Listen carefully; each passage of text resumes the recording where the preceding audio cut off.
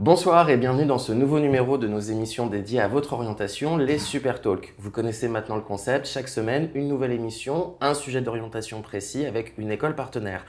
Ce soir, nous allons nous intéresser à un sujet particulièrement populaire sur Parcoursup, il s'agit des études d'informatique. Mais qu'est-ce que ça veut dire exactement qu'étudier l'informatique? Comment s'y retrouver dans la jungle des écoles? À quels critères être, attentif pardon, pour bien choisir son école? Qu'est-ce qu'on apprend concrètement dans une école du numérique? BTS, bachelor, master, quelle différence pour quel métier et pour quel salaire?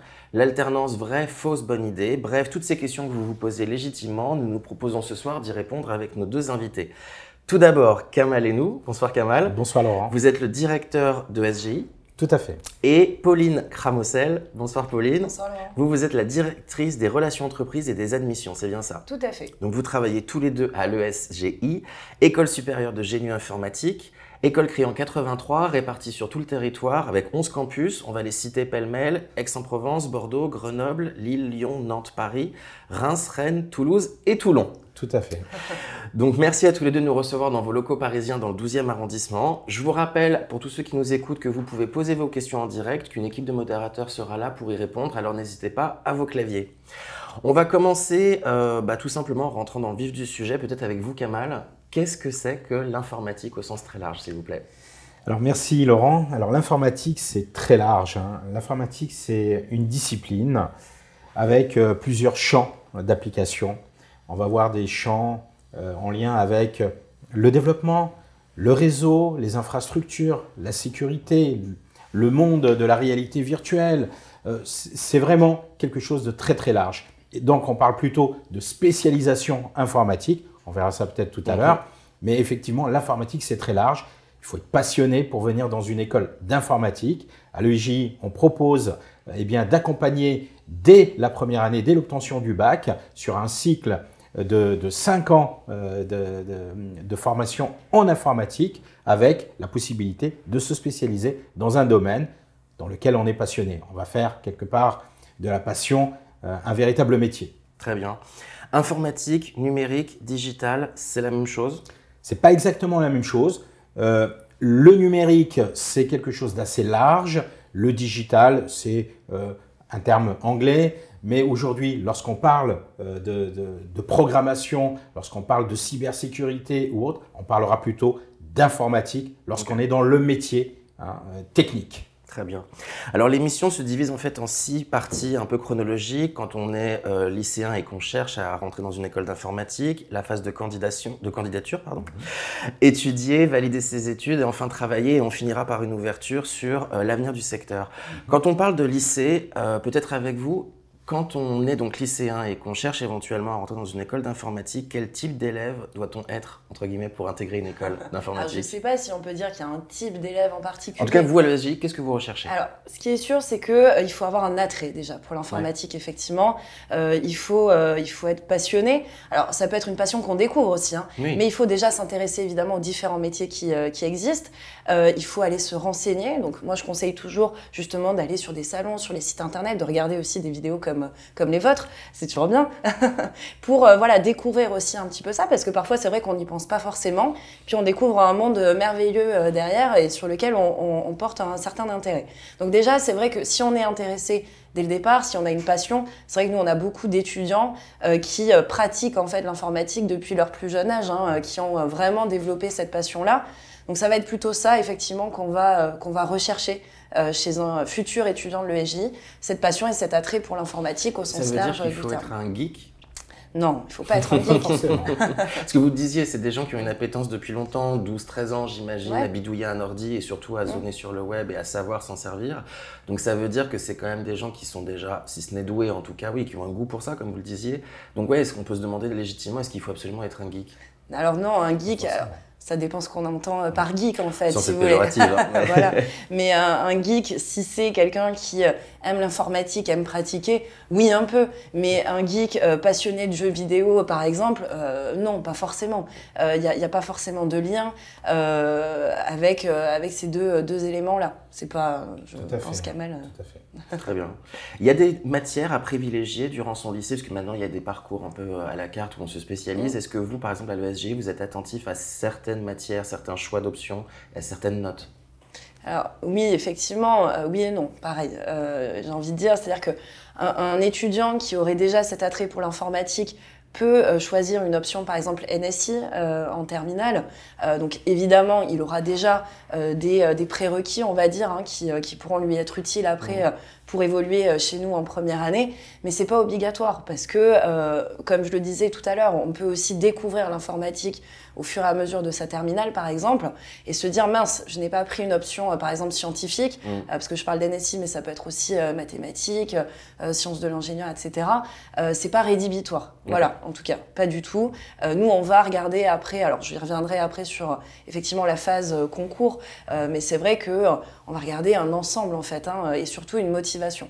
Oui, c'est vraiment l'élément clé. Quelqu'un finalement qui aurait fait un parcours lycéen plus, euh, on va dire, littéraire, mais qui se rend compte que, bah oui, il a une appétence pour l'informatique et en fait ça lui plaît, il se dit tiens, pourquoi pas il peut pas, enfin, il, il, faut pas, il faudrait pas, pardon, qu'il se dise euh, les portes me sont condamnées. Non, surtout pas, surtout pas.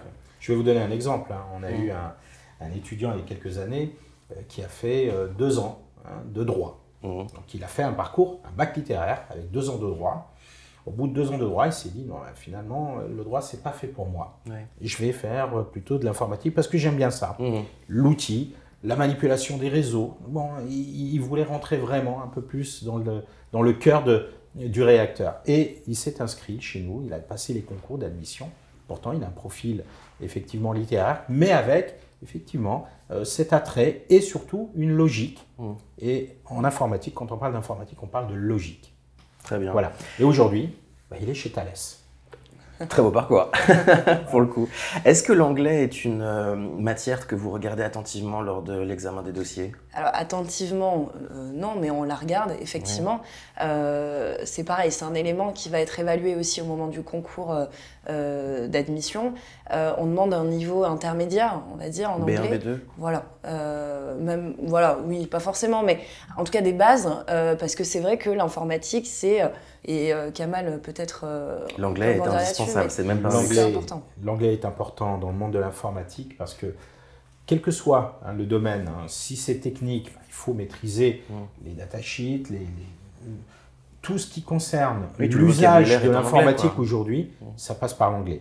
Et même si on est dans la chefferie de projet, c'est-à-dire moins dans la partie technique, mais plus dans le pilotage de projets informatiques, vous allez avoir des réunions avec, euh, des, avec des, ingénieurs à l'international. Donc quand on parle de réunion à l'international, automatiquement, mmh. ça va se faire en anglais. Donc il faut cette maîtrise d'anglais. Mais rassurez-vous, hein, on va rassurer euh, nos auditeurs, on a des cours d'anglais dès la première année jusqu'à la cinquième année. On a cet accompagnement, cette progression de l'anglais. Mais effectivement, lorsqu'on rentre en première année, il faut avoir à minima un petit mmh. niveau d'anglais.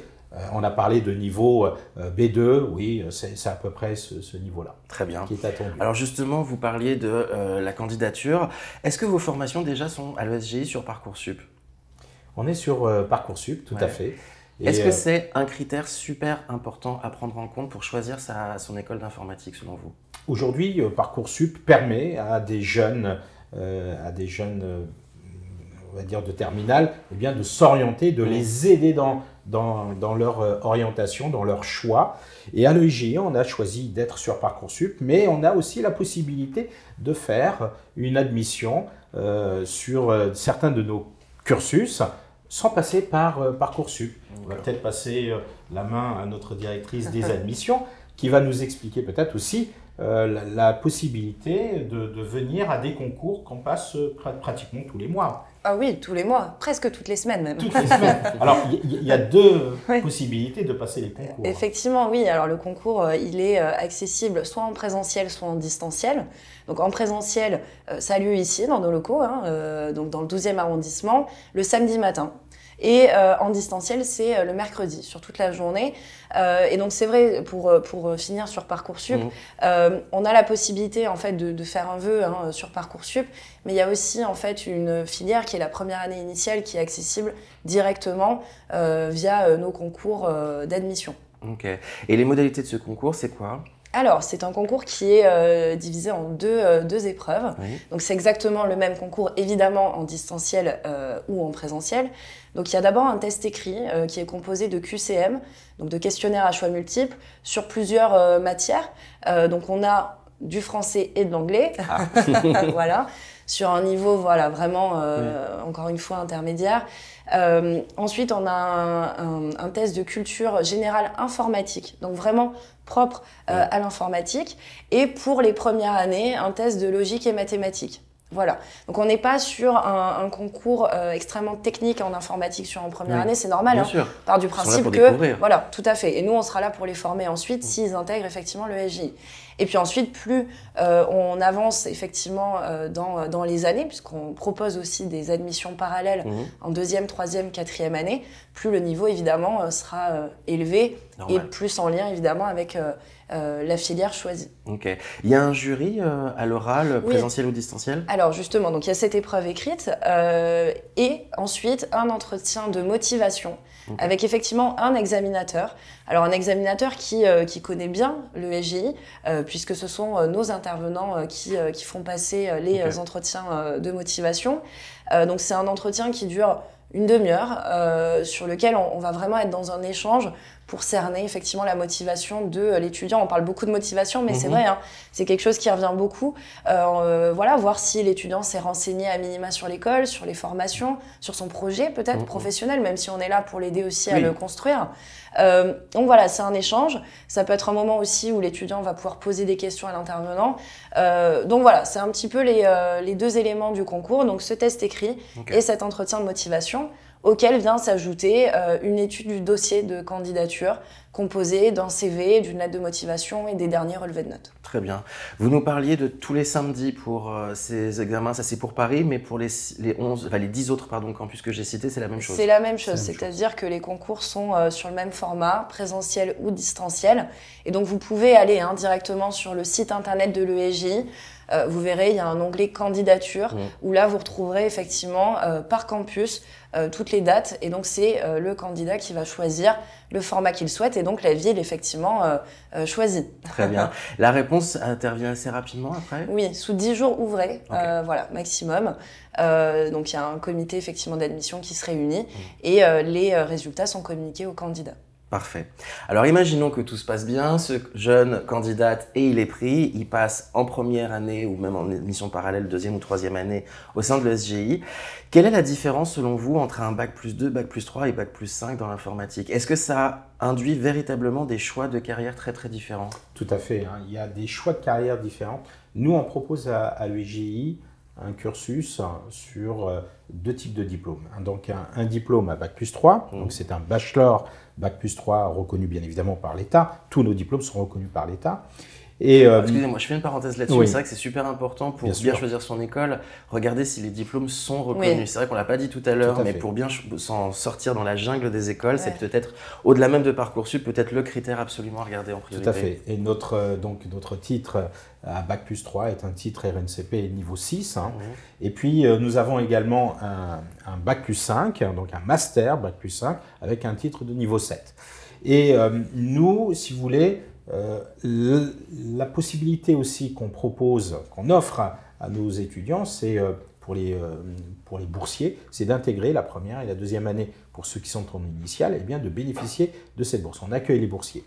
Donc, lorsqu'on se projette, il faut savoir est-ce qu'on va faire de l'alternance dès le départ, dès la première année, ou alors faire une année en initiale puis de l'alternance, ou deux ans en initiale puis de l'alternance? Ce qu'il faut savoir, c'est que dès la troisième année, l'alternance est obligatoire. D'accord. Alors, donc on propose une sortie à Bac plus 3 avec un diplôme euh, donc, de, bachelor, et ensuite une sortie à Bac plus 5. Bien évidemment, si vous sortez à Bac plus 3, vous n'aurez pas les mêmes objectifs professionnels qu'à la sortie en Bac plus 5. Mmh. À Bac plus 3, on va viser des métiers d'administrateur, d'administrateur euh, de base de données, d'administrateur système et réseau.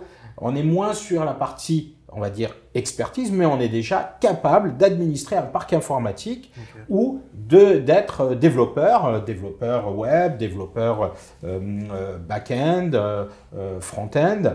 Mais si vous voulez, ça reste des métiers à un niveau Bac plus 3. Mhm. Ensuite, lorsqu'on souhaite devenir expert dans, dans, la discipline, eh bien, on va rajouter hein, ce, ces deux années supplémentaires qu'on appelle des années de master. En anglais, master, c'est maîtriser. Donc là, on a la maîtrise du métier.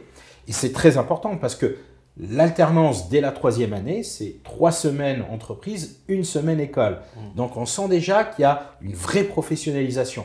Et pour améliorer encore plus cette professionnalisation, on propose en quatrième et cinquième année une suite euh, de, cette alternance. Donc vous allez avoir pratiquement pour quelqu'un qui rentre à l'EJ, par exemple en troisième année, il va avoir trois ans d'alternance mmh. avec un rythme de trois semaines entreprise, une semaine école.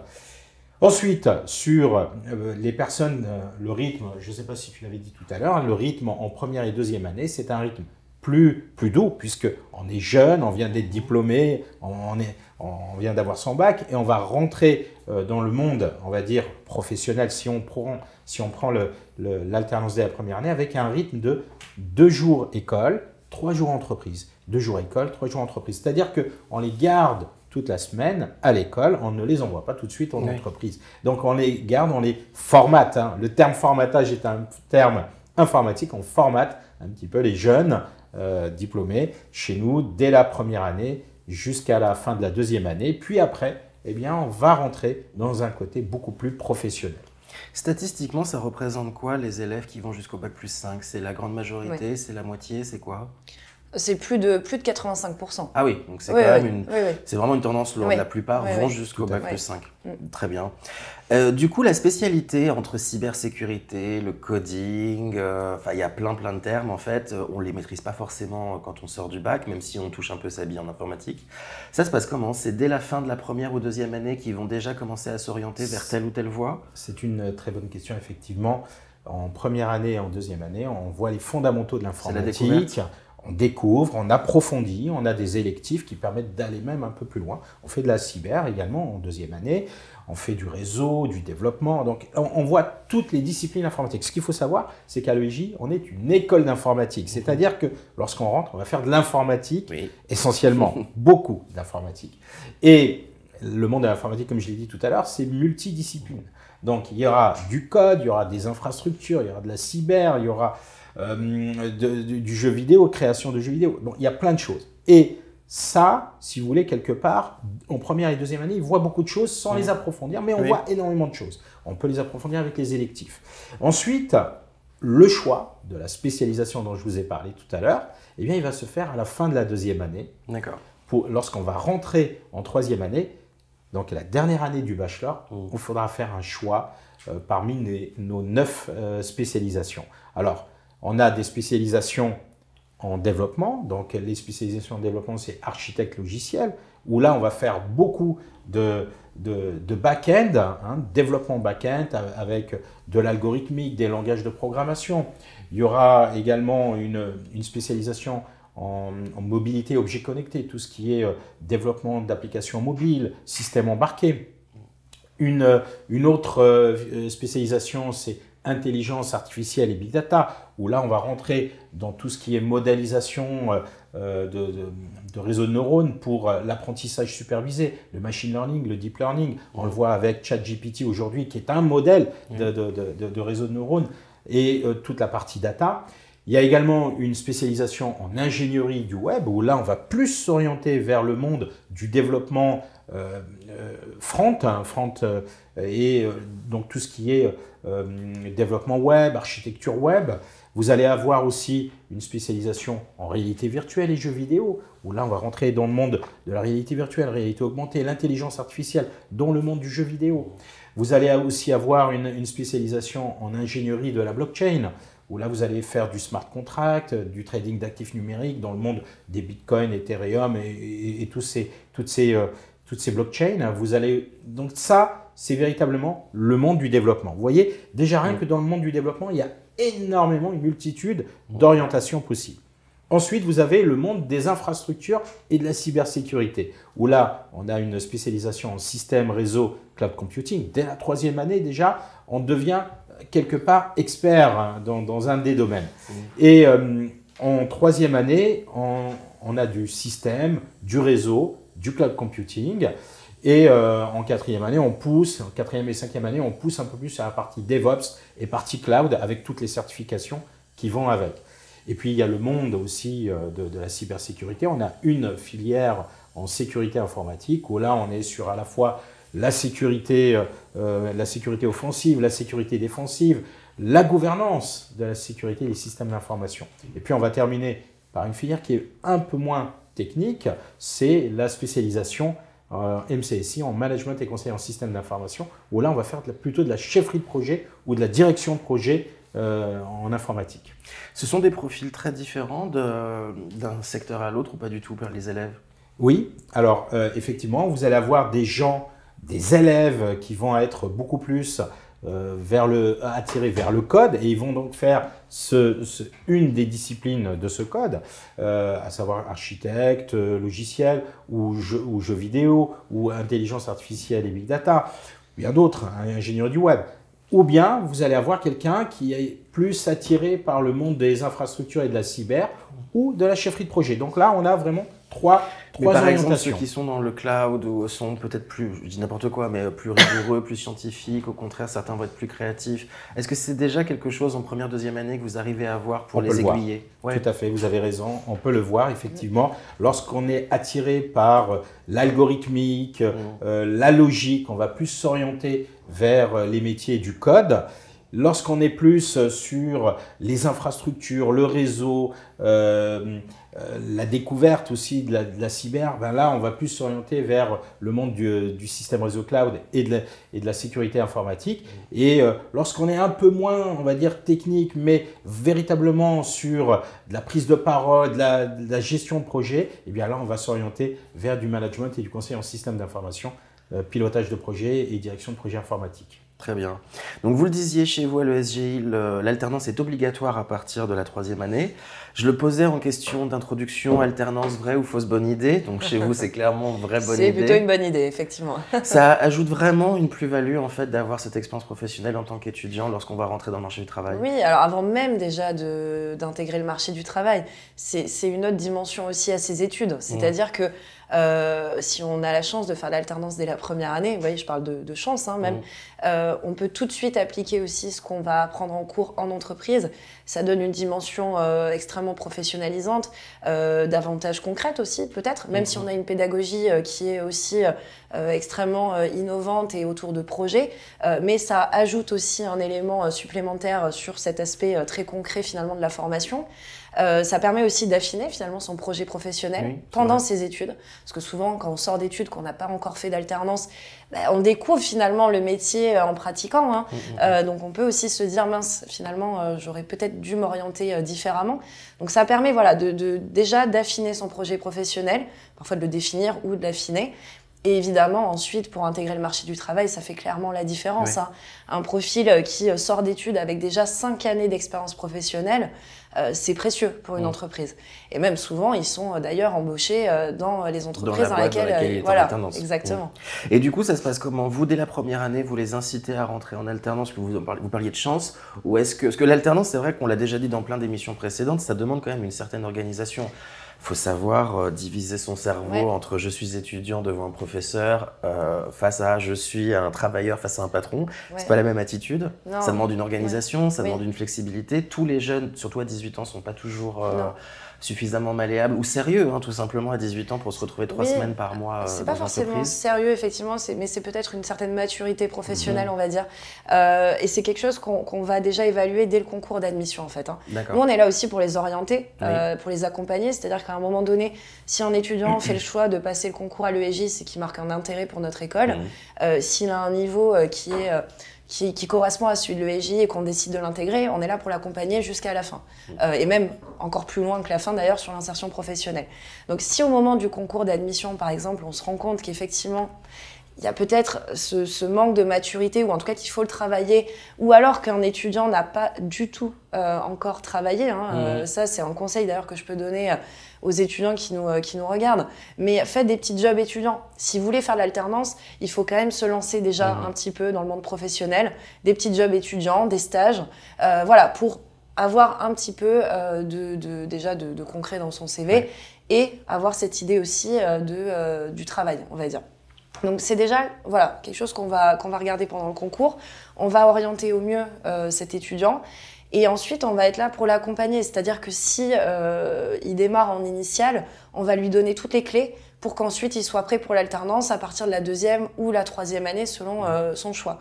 Euh, il faut savoir aussi que euh, à l'ESGI, donc on a un service des relations entreprises qui est là. Alors j'y reviendrai après sur la recherche d'alternance, mais c'est pas uniquement les missions du service relations entreprises. Mmh. Et aujourd'hui, c'est vrai qu'on accompagne nos premières années qui sont en alternance sur l'intégration en entreprise. Donc il y a des cours qui sont donnés, hein, enfin des, des, des, techniques de recherche d'entreprise et puis des coachings sur justement comment on s'intègre en entreprise, euh, comment on allie justement les cours et le travail en entreprise euh, pour juste ne pas euh, effectivement perdre pied. Mmh. C'est pas l'objectif. Donc on les accompagne aussi sur cette intégration en entreprise en leur donnant en fait les codes justement du monde professionnel. Très bien. Et du coup, ça se passe comment pour chercher son entreprise? On leur demande euh, à l'ESGI de trouver par eux-mêmes. Vous avez, vous, un vivier d'entreprises qui, chaque année, va chercher de nouveaux alternants et vous allez donc euh, piocher là-dedans. C'est un mix des deux, ça se passe comment? Alors, c'est tout un, mélange, effectivement, euh, qui, qui, mène à l'alternance, on va dire. Donc, le, le, le chemin, en tout cas, jusqu'à l'alternance, c'est le même pour tous nos étudiants. C'est-à-dire que S'ils sont admis, ils sont tout de suite mis en relation avec leur chargé de relations entreprise. Et je dis bien leur chargé de relations entreprise, puisque aujourd'hui, on a un chargé de relations entreprise à minima par filière. Donc, plusieurs pour les premières et deuxième années. Et ensuite, à partir de la troisième année, un chargé de relations entreprise, justement, par spécialisation. Euh, donc ça veut aussi dire que ce chargé de relations entreprise connaît bien le marché euh, voyez, de, de l'alternance en rapport avec les étudiants qu'il va, qui va accompagner. Et donc, à partir de ce rendez-vous-là, on est euh, effectivement dans une démarche d'accompagnement à travers des coachings, donc des coachings évidemment sur les outils de candidature, sur la préparation aux entretiens, euh, sur aussi eux comment candidater de leur côté. Mmh. Donc on leur apprend aussi à candidater, on les accompagne là-dessus. Et évidemment, on les met en lien avec nos entreprises d'accueil et nos entreprises partenaires à travers des événements de recrutement, donc par exemple des spin meetings. Euh, donc ce sont des événements où on a à chaque fois la chance d'avoir à minima une soixantaine d'entreprises présentes, avec parfois plusieurs postes à pourvoir, hein. euh, des recrutements dédiés aussi, voilà, d'autres types d'événements de recrutement. Et puis au quotidien, euh, les chargés de relations entreprises envoient des offres euh, nos étudiants ont aussi accès à leur propre job board hein, euh, sur lesquels ils peuvent eux aussi candidater. Donc voilà, c'est un mélange euh, qui, qui permet aux étudiants d'avoir une pluralité en fait au niveau de l'accompagnement pour maximiser les chances vraiment de trouver cette fameuse alternance. De votre expérience tous les deux, vous avez tendance à privilégier les petites structures ou les très grosses sociétés pour les étudiants? Alors Pareil, pour, pour l'alternance, vous voulez dire? Ouais, bah, c'est un, mélange aussi. Hein. C'est-à-dire que, alors, on a la chance d'avoir, c'est vrai, un, vivier justement d'entreprises euh, d'accueil euh, important euh, et qui nous font confiance chaque année, donc qui renouvellent leur confiance pour leur recrutement auprès, auprès de l'ESGI. donc, ça nous permet de mettre en lien effectivement des étudiants avec tout type de structure. Et c'est là où justement l'accompagnement du chargé de relations entreprises est important. C'est-à-dire qu'il va aussi s'adapter au profil de l'étudiant. Mmh. Il y a des étudiants qui sont faits pour être dans des petites structures, euh, mmh. peut-être même start-up, voyez, parce qu'ils ont un profil un peu entrepreneuriat, euh, etc. Et il y en a qui ont aussi euh, cette envie d'évoluer dans des grandes structures. Donc en fait, ça dépend un peu du profil. Mais grâce à ce vivier, en fait, hein, si vous voulez, d'entreprise, mmh. on a la possibilité justement presque de choisir aussi pour, pour le bien de nos, nos étudiants. Et on apprend aussi bien dans une très grosse boîte que dans une toute petite structure Ce n'est pas le même type d'apprentissage, mais effectivement, il y, a une, il y a un côté professionnalisant. Euh, lorsqu'on vise une petite structure, eh bien, c'est une, on sait très bien que on va beaucoup développer euh, euh, sur la partie technique parce qu'on n'aura pas énormément de référents mmh. sur le domaine technique pur et dur. Donc, on sera plus engagé techniquement et on verra beaucoup plus de choses sur les petites structures sur les grandes structures, donc on parle, des, on parle ici des, des, très petites entreprises, euh, des PME, jusqu'à euh, jusqu'à des entreprises du CAC 40. On a 1200 entreprises d'accueil, et donc on, on, est sur tous les segments, mais effectivement sur les, les grandes entreprises euh, du CAC 40, on est plutôt sur des, sur des pôles ciblés. On a des départements, départements architecture, département développement, département... Mmh. On, on, a des développements si vous voulez, la répartition de l'entreprise est faite en sorte que lorsque l'alternant arrive, eh bien, il est automatiquement canalisé sur une mission. Alors qu'un jeune qui va aller dans une TPE, par exemple. Il va apprendre la polyvalence. Eh, il va être polyvalent, il va toucher à la fois au dev, il va toucher au réseau, à la sécurité. Donc, il pratiquement, il va tout faire. Mm. Voilà. Mais effectivement, là, c'est un, une mentalité. Mm. Effectivement, notre, nos, nos chargés de relations entreprises connaissent nos apprenants et savent s'ils sont faits pour ce type de structure ou mmh. plutôt pour les grandes entreprises. Et justement, ce choix d'orientation, de spécialisation chez vous à la SGI pour vos étudiants, ça se passe comment? C'est l'occasion qui fait le larron, c'est-à-dire c'est parce qu'ils ont trouvé tel type de poste dans une alternance qu'on va plutôt les orienter vers le cloud, le computing ou le codage? Ou est-ce que c'est vraiment l'inverse? Ils sont absolument focalisés sur une spécialisation parce que ça les branche, hein, tout simplement. Et euh, du coup, on va leur trouver une alternance qui soit le plus adéquate avec euh, leur envie c'est vrai que dès le départ, il y a cet entretien, enfin cet échange en tout cas avec le chargé de relations entreprises. Je pense notamment aux premières années qui sont sur donc, un tronc commun, euh, où on va, on va discuter avec lui, on va lui poser des questions, voir un petit peu s'il a un attrait globalement plutôt pour le développement ou le réseau, en gros en première année. Et on va l'orienter comme ça. Après, au fur et à mesure des années, en tout cas en première et deuxième année, il y a un accompagnement qui est fait aussi sur le plan pédagogique, où on organise des événements euh, en lien avec nos entreprises partenaires, mmh. euh, nos alumni aussi, nos anciens, qui viennent en fait faire des retours d'expérience à nos, à nos étudiants en, lien avec la filière justement que eux avaient faite à l'époque pour leur donner aussi comme ça des conseils et, euh, et les aider dans leur choix de, de, de, filière. Très bien. Et du coup, ça se passe comment en fait? Ils ont une alternance pour leur bachelor et une alternance pour leur master? Globalement, c'est ça, oui. Vous leur proposez, vous leur conseillez pardon, de changer d'ambiance, justement passant d'une petite à une grosse boîte ou inversement, ou de changer de secteur ou pas spécialement? En fait, ça dépend des évolutions possibles au sein de l'entreprise. C'est-à-dire que nous, on va veiller à ce que euh, l'étudiant, alors première, deuxième année, euh, monte en compétences. Mmh. À partir de la troisième année, il se spécialise, donc on va bien vérifier qu'effectivement l'entreprise est euh, en mesure de proposer des missions en lien avec la filière choisie. C'est mmh. important, c'est primordial même. Euh, et si ensuite on sent qu'il y a vraiment une possibilité d'évolution, de responsabilisation presque pour le master, on va, pourquoi pas, conseiller à l'étudiant d'y rester s'il est bien. Mmh. Si après il a envie aussi de découvrir un nouvel environnement, un autre secteur d'activité ou autre, on va pas l'empêcher du tout. Au Mais vous, de votre expérience, vous trouvez que c'est plus intéressant d'aller voir ailleurs une autre expérience, un autre style, une autre organisation, ou même pas forcément Alors oui, ça peut être toujours, c'est toujours bien aussi de, découvrir d'autres environnements. Mais encore une fois, pour moi, c'est plutôt les missions qui sont importantes. C'est-à-dire qu'est-ce qu'on fait? Euh, Si euh, effectivement l'étudiant a cette possibilité vraiment d'évolution, parce qu'il y a quand même un gap euh, aussi entre la fin du bachelor et le master, oui, euh, qui, qui, reste dans cette entreprise, c'est toujours bien. Euh, maintenant, euh, voilà, si les missions stagnent, non, très clairement, il vaut mieux, il vaut mieux changer. Effectivement, l'objectif, c'est d'apprendre un métier, d'avoir un métier à la sortie. Tout à fait. Donc, c'est combiner effectivement ses choix, hein, son choix au départ, et avec le métier à la sortie.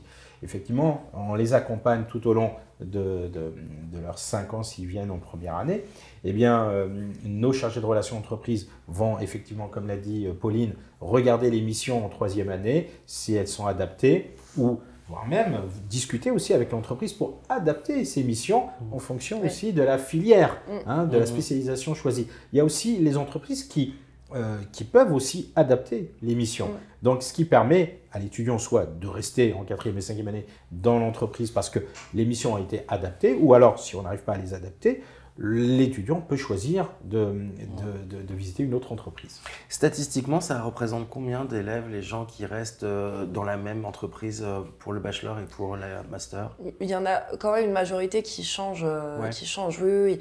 parce que voilà, alors c'est vrai que euh, les étudiants en informatique sont particulièrement recherchés. Euh, c'est vrai qu'on l'a pas encore dit, je voulais en parler en conclusion, mais c'est vrai que c'est un secteur particulièrement mais c'est ce qui impacte aussi le, parfois voilà cette, euh, ce changement aussi et cette montée en compétences, c'est qu'ils sont chassés aussi en alternance pour leur quatrième année, donc ça impacte forcément aussi leur choix à un moment donné. Très bien.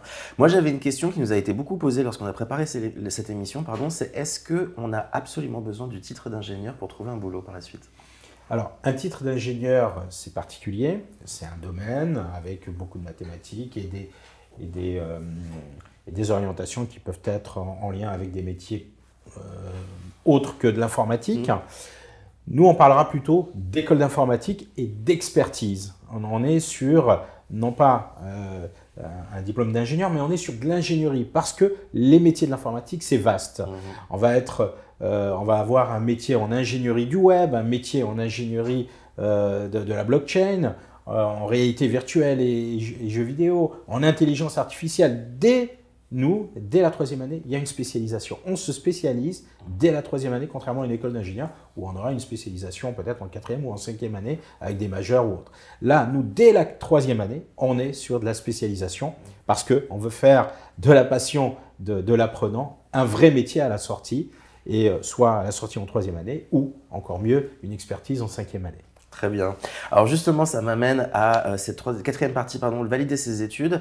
Comment est-ce qu'on valide à l'ESGI son diplôme? Il y a un contrôle continu, il y a un examen de fin d'année, ça se passe comment précisément? Effectivement, à l'ESGI, dès la première année, pour ceux qui rentrent en première année, et sur toutes les années, les cours se, font par trimestre. Hein. Euh, euh, en, première année et par semestre ensuite. Et à chaque semestre, eh bien, on a des contrôles continus qui se font tout au long euh, du, semestre, et, mais également des euh, jurys, hein, ce qu'on appelle des, examens et des jurys de fin de, semestre. Et euh, ensuite, à la fin de l'année, on regarde si l'étudiant valide l'ensemble des compétences et, des examens pour aller en, année supérieure. L'avantage, effectivement, c'est ayant toutes les notes de, contrôle continu et d'examen, eh bien, l'étudiant, lui, ben, il peut savoir déjà dès le mois de décembre ou dès le mois de janvier, quelles sont ces lacunes Est-ce qu'il faut mettre un peu plus euh, l'accélération euh, sur certaines parties de cours? Voilà, donc nous on les accompagne comme ça pour eh bien, euh, monter en compétences et en qualité. Et à la fin des trois années de bachelor ou à la fin des deux années de master, il n'y a pas un examen spécifique pour valider l'obtention du diplôme. C'est les semestres la moyenne des semestres, le contrôle continu et les notes en fin de semestre. Effectivement, pour les, pour les diplômes de l'EGI, c'est ça. Et puis pour les titres, il y a ce qu'on appelle les blocs de compétences. Il mmh. faut valider des blocs de compétences, une épreuve validante un bloc de compétences ou un ensemble d'épreuves validant un bloc de compétences et il faut avoir l'ensemble des blocs de compétences pour valider le diplôme. Et côté euh, alternance, il n'y a pas euh, une obligation à ce que euh, la, la, société pardon, valide le bon comportement, tout ça si, si, Évidemment, alors on est euh, la, première école d'informatique en alternance, donc c'est pour dire à quel point euh, on a euh, cette importance qui est accordée à l'alternance. donc évidemment, l'entreprise prend part à son mot à dire. Et oui, exactement. donc à travers un, suivi qui est fait évidemment et une note, une note de, fin de mission, on va dire, de fin de contrat. voilà, sur divers sujets. Alors il y a évidemment toute la partie technique hein, qui est mhm. abordée par le tuteur, mais aussi ce que vous disiez, le, comportement. Euh, la, le comportement. Oui, la capacité à communiquer, à s'intégrer, euh, à travailler en équipe, à être à l'écoute, etc. Tout ça, c'est des éléments qui sont importants aussi pour cette évaluation euh, de mission entreprise. Très bien. Et alors, une fois qu'ils sont diplômés, euh, question qui nous a aussi beaucoup posée, c'est l'employabilité. On l'a déjà un peu évoqué tout à l'heure. C'est vrai que le secteur est en très très grosse demande de, main-d'œuvre bien qualifiée, bien, bien formée. Six mois après l'obtention du diplôme, à peu près combien de pourcents de vos élèves ont un boulot? Aujourd'hui, à l'UJI, on est à 99% sur le taux de placement. Donc tout le monde a un taf, il faut être clair. tout le monde a un taf. À l'UJI, on les forme bien. Non, mais c'est vrai que c'est important parce que parfois, on peut se poser la question est-ce que je fais bien de m'orienter dans tel ou tel domaine parce que j'ai une appétence pour ça? Enfin, est-ce qu'il y a du boulot derrière? Et là, effectivement, l'informatique, on peut y aller les yeux fermés. Quoi. On embauche, effectivement. Mais on embauche aussi des gens de qualité. Et pour avoir cette qualité, il y a le côté, effectivement, euh, scolaire, mmh. études, euh, la partie. Euh, euh, entreprise aussi qui se rajoute. Donc il y a deux volets aussi qu'il faut, euh, qu'il faut mixer. Et le fait, euh, effectivement, d'avoir à la fois la, connaissance et la compétence en, entreprise, ces deux choses font qu'à la sortie, en troisième année ou en cinquième année, ben, les, les, étudiants, les apprenants ont facilement un métier Très et bien. un poste. Est-ce que beaucoup d'élèves, après l'obtention de leur bac plus 5, vont se spécialiser avec un master spécialisé pour complémenter justement leurs compétences en informatique, je ne sais pas, en ressources humaines, en communication, en stratégie commerciale? Est-ce qu'il y en a beaucoup qui font ça? Il y en a quelques-uns. Alors euh, ça représente, je vous l'ai dit, à peu près euh, un peu moins d'un pour cent. Hein, euh, et ce sont plutôt des personnes qui vont s'orienter vers le côté euh, non pas technique, parce que la technique, ils l'ont, mais plutôt sur le côté commercial. Par exemple, un, ingénieur avant-vente, mhm. euh, il lui faut euh, bien évidemment des compétences pour vendre par exemple des architectures ou du logiciel. Il lui faut des compétences techniques qu'il a largement, mais il lui manque peut-être cette brique commerciale qu'il apprendra dans ce master spécialisé par exemple.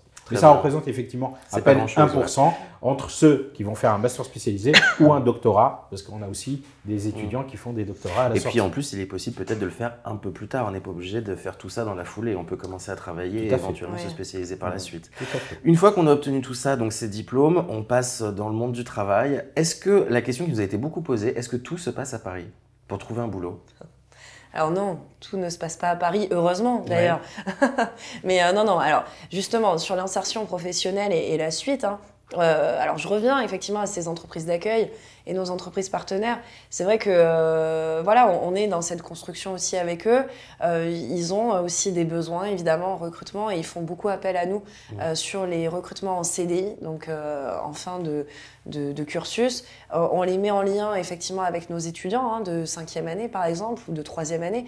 Euh, et donc il y a euh, ces possibilités-là et chaque année on fait des événements pour que ces entreprises-là proposent justement des postes à nos étudiants. Et on voit bien que les postes sont présents sur toute la France. alors vraiment, c'est il y a des pôles effectivement informatiques partout. Euh, à Rennes, dans le sud-est, euh, à Toulouse, Bordeaux, euh, mmh. dans l'est aussi, dans le Grand Est. En plus, si c'est un domaine qui est vraiment éligible au télétravail, c'est bien l'informatique. Alors oui, effectivement, et c'est vrai que ils ont ils ont cette possibilité là. Et on parle de la France, parlons aussi de l'international. Ah, c'est une question qui suivait, effectivement. effectivement, c'était l'expatriation possible, souhaitable, et si oui, où? Parce qu'il y a beaucoup de jeunes, évidemment, qui veulent partir à l'étranger au moins quelques années. Est-ce qu'avec un diplôme français, on peut partir facilement, travailler dans l'informatique en Europe ou au-delà? Oui, tout à fait. On a, on a des exemples euh, très simples. Hein. Nous, en cinquième année, on a la possibilité de faire la cinquième année en double diplôme. En mmh. double diplôme à l'international avec euh, des universités ou des écoles d'ingénieurs euh, partenaires au Canada, aux États-Unis, à Singapour, en Corée, au Moyen-Orient. Donc cette possibilité déjà d'aller à l'international en cinquième année, ça leur permet déjà bah, de tâter un peu le terrain sur place. Oui. Déjà, c'est une chose. Et pour euh, revenir à l'embauche hein, de nos, euh, de nos euh, cinquième années à la, sortie, eh bien, nous, on a des exemples très concrets. On en a plusieurs qui sont aux États-Unis aujourd'hui et qui, qui, restent sur place. Au Canada, on en a même à, Singapour, dans le milieu de, de, la cybersécurité. Alors, plutôt viser quels sont les domaines, mmh. on va dire, qui attirent vers l'international, eh bien, plus en lien euh, avec le monde peut-être des startups. Le monde des startups, très prisé euh, par, nos, par nos étudiants à la sortie. Ils vont aller euh, dans le milieu également bancaire, de la sécurité bancaire, où on a vraiment un pôle d'attractivité à, Singapour. Je ne sais pas, Singapour, c'est peut-être la forteresse des banques, je ne sais pas. Et on a besoin de personnes dans le monde de la cybersécurité là-bas, donc ils y vont. aux États-Unis, le monde peut-être de l'IT, effectivement, en Californie, on en a beaucoup. Euh, que ce soit dans le monde du développement, de la blockchain, mais aussi euh, de la cybersécurité et des infrastructures. Et pour faire carrière, à un moment ou à un autre, on est obligé de partir quand même à l'étranger ou en fait on peut tout faire en France On peut tout faire en France. Il y a la possibilité de tout faire en France, véritablement. Mais ce qu'on propose, c'est effectivement à, nos jeunes diplômés, eh bien, s'ils ont l'occasion de, de, de, se tester euh, à l'étranger, qu'ils peuvent... Qu'ils essayent. Voilà, qu'ils essayent. Mais il y en a beaucoup qui travaillent en France dans des, ce qu'on appelle des ESN, des entreprises de services numériques, anciennement des SS2I, qui va envoyer euh, bah, nos, experts hein, donc, euh, à, l'international, en Belgique, euh, au Luxembourg, en Suisse, en Italie, en Espagne. ils, voyagent mmh. par le biais de leur, de leur mission. Ça me permet de me faire rebondir sur la question suivante, c'était concernant la nature des emplois. C'est majoritairement, ce sont des gens qui vont être employés, qui vont monter leur société pour devenir des prestataires pour d'autres. C'est quoi en fait à peu près la répartition Je vais vous donner un pourcentage. Hein. je vais vous donner un pourcentage de nos jeunes diplômés euh, depuis 1 à 5 ans. Ils sont 2% à créer leur entreprise. Ah oui, c'est peu. Pour un secteur où j'aurais pensé justement, il y en avait beaucoup plus. 2%, ce qui correspond à peu près aujourd'hui à euh, une cinquantaine d'entreprises. Ok.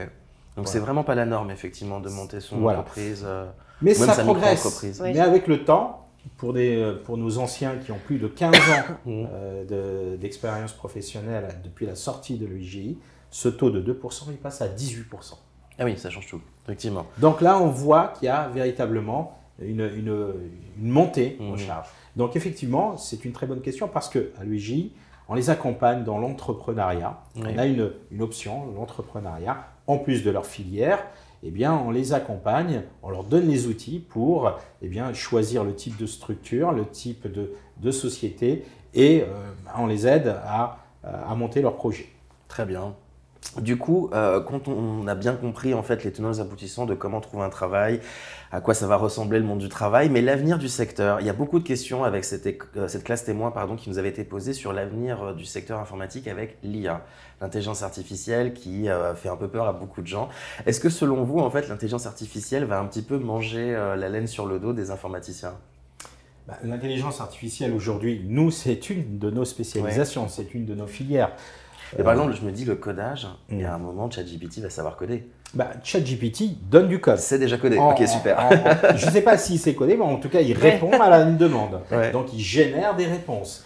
Alors, bien évidemment, il y a, il y a, plein d'émissions euh, sur, euh, sur Internet où on peut voir euh, des, des, des, on va dire, une compétition entre quelqu'un qui code et quelqu'un qui ne code pas avec l'outil de ChatGPT. Et on voit qu'il arrive à faire des choses, mmh. mais moi, je pense que l'outil aujourd'hui de l'IA, ou les outils de l'IA, ne, ne, sont, on va dire, que des outils qui vont faire progresser finalement le développeur. Hein. Ils vont même. C'est un outil, c'est voilà, ils, vont le challenger, ils, vont le challenger. Euh, il, il, va progresser avec l'usage de l'outil de l'IA. Pour moi, ce n'est pas une menace, au contraire, c'est un apport qu'on doit euh, véritablement utiliser lorsqu'on est en entreprise. Très bien.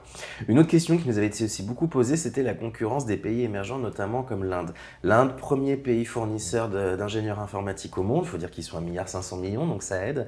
Est-ce que vous, pensez que euh, les Européens, les Occidentaux, en fait, ont encore euh, une bonne place à jouer dans le secteur de l'informatique? Aujourd'hui en France, on est en manque hein, d'experts ou d'ingénieurs en, informatique. On a déjà du mal à, les recruter hein, en France. C'est pour ça qu'on s'oriente vers, vers des pays euh, outre, outre euh, que la France. Et euh, entre autres, on a l'Inde et la Chine hein, qui, sont de, qui, nous donnent une grosse quantité d'ingénieurs.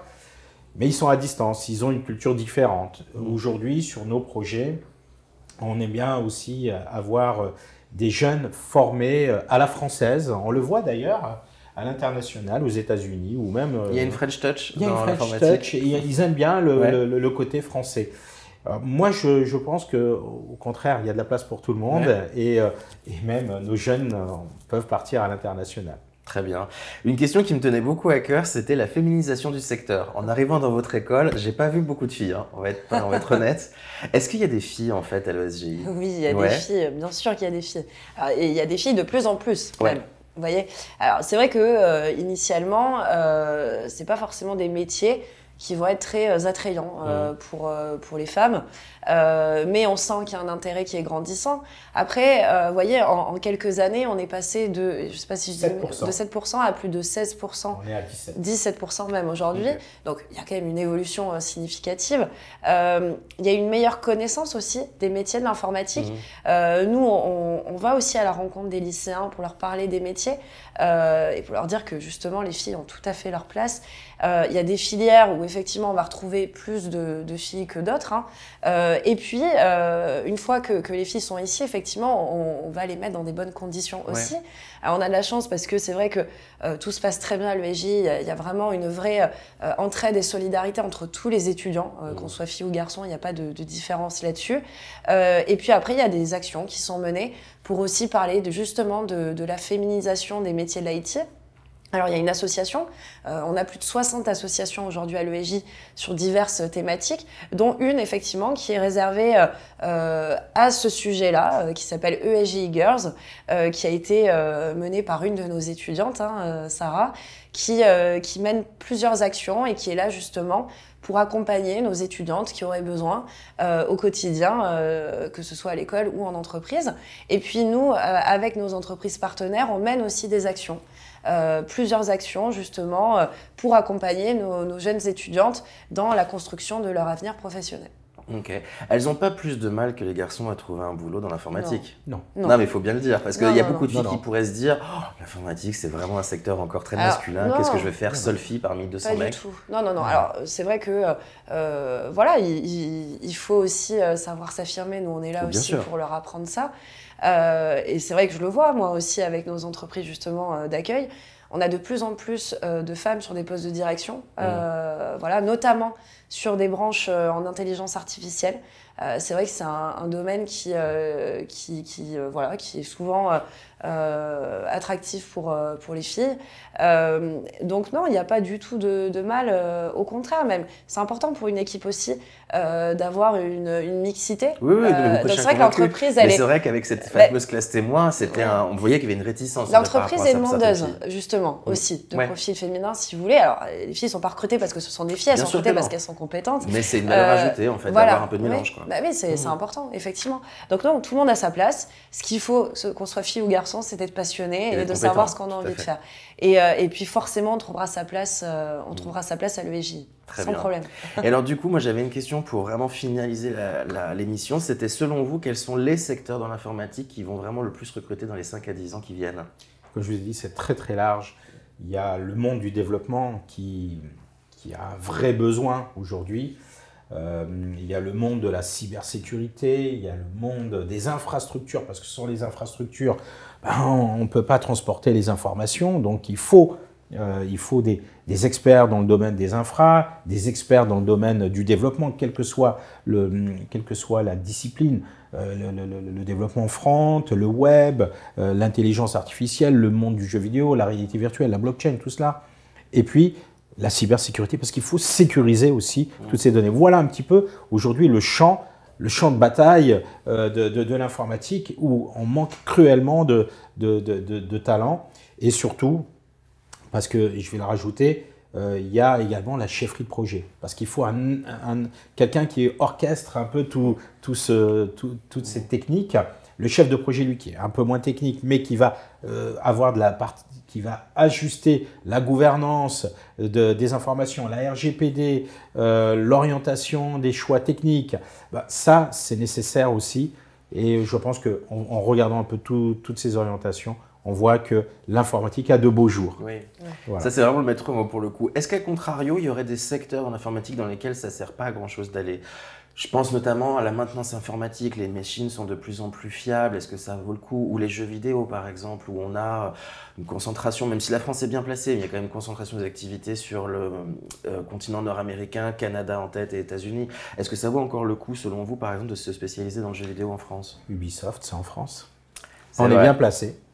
Euh, et puis, il n'y a pas que le jeu vidéo. Hein, le, c'était des exemples. Mais est-ce que par exemple pour vous, il y a, je ne veux pas dire des voies de garage, mais des secteurs qui sont quand même moins porteurs dans l'emploi dans les dix années qui viennent? Bah, Il y a des secteurs plus, euh, on va dire, euh, où la demande est forte. Mm.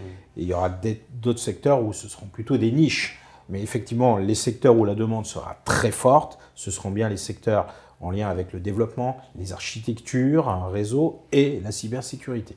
Très bien, nickel. Bah, merci à tous les deux de nous avoir éclairé sur toutes ces questions. J'espère qu'on a été euh, assez exhaustif pour les jeunes qui nous regardent. Je voulais juste vous donner un petit euh, temps pour le mot de la fin, pour finaliser, de convaincre les jeunes, soit de vous appeler, soit de venir à vos journées portes ouvertes. Les dates seront affichées dans le bandeau, ou même tout simplement pour les inciter à aller sur votre site internet pour se renseigner. Oui, alors il faut, il faut être curieux, c'est important. Euh, soyez curieux, euh, venez nous voir, c'est quand même la meilleure façon aussi. Les locaux sont sympas en plus dans le 12e. Voilà, effectivement. euh, pendant nos journées portes ouvertes, on fait des TP découvertes. Enfin, voilà, il faut venir, il faut venir nous voir. On est là pour, pour vous renseigner et vous, et vous accompagner. Et puis surtout, si vous êtes passionné d'informatique, il faut se lancer. C'est euh, un métier, on l'a dit, hein, euh, euh, où il n'y a pas de problématique de débouché professionnel. Ça, c'est important. Hein. Bah oui, c'est primordial quand on se lance dans des études, effectivement. Si en plus on est passionné et qu'on a cette possibilité et cette presque garantie de trouver du travail en sortie, il faut se lancer. Très bien. et vous, Kamal? Profitez effectivement de ces journées portes ouvertes pour visiter nos laboratoires de, de recherche, d'expérimentation, de, préparation aux certifications, parce que les certifications sont très importantes dans le mhm. monde euh, de l'informatique. Et euh, il faut euh, bien évidemment faire de sa passion un vrai métier. L'EJ est là pour ça. Super. Ben, merci encore une fois à tous les deux. Merci de nous regarder chaque semaine. Vous êtes toujours plus nombreux. On tenait à vous en remercier. Et on vous dit à la semaine prochaine. Au revoir. Merci.